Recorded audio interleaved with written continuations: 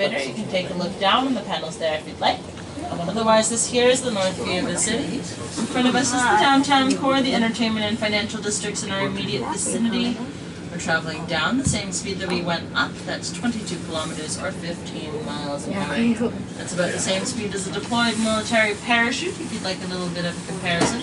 Wow. If anyone has any questions, you can feel free to ask. Otherwise, enjoy the view.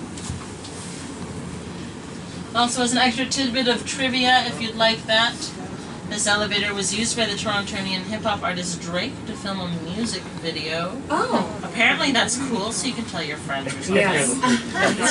I'll be letting you out at the retail level because we are a tourist attraction. That's what tourist attractions like to do. Yes. The exit will be straight through the gift shop, then turn left.